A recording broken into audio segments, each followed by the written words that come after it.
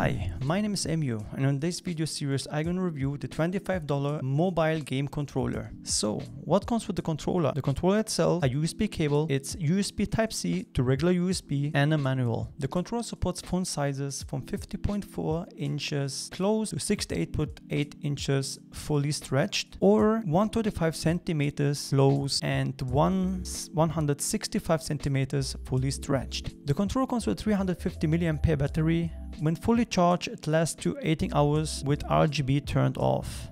It supports Steam Deck, Windows 7 up to Windows 11, Android smartphones, and of course iOS 13.4 up to iOS 17.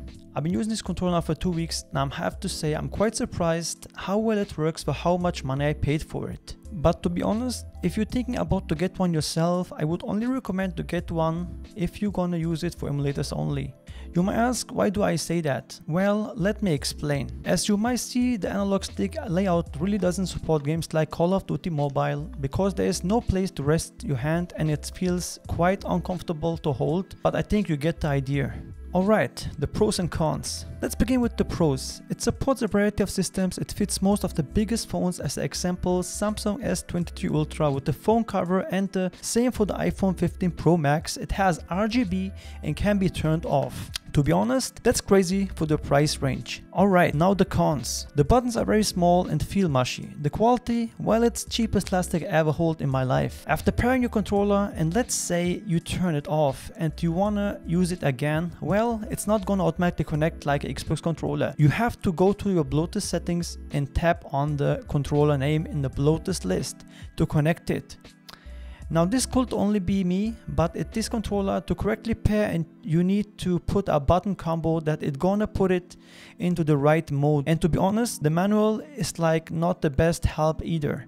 But let's say you get the controller, use the PCX input Bluetooth mode and you and you good. And whatever you do, don't lose the manual.